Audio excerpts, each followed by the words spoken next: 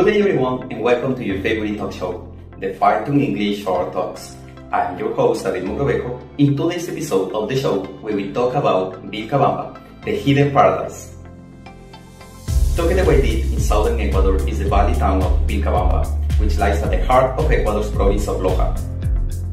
In Quechua, the ancient Inca language that is still widely spoken today, the word Vilca translates as sacred and Bamba translates as valley, sacred valley. The 1,500 meter valley town is full of snow-capped mountains and has lush vegetation in a mild and warm climate. Top 3 things about Vilcabamba. Number 1. The longevity of its inhabitants. Aside from its untouched natural beauty, the Vilcabamba Valley is well known because many of its inhabitants live well past the age of 100. Number 2.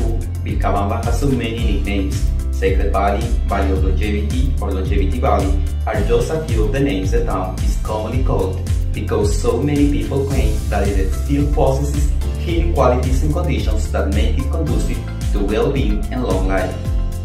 Number 3. The home of many foreigners and retirees. Vilcabamba itself is a small town with only about 5,000 inhabitants.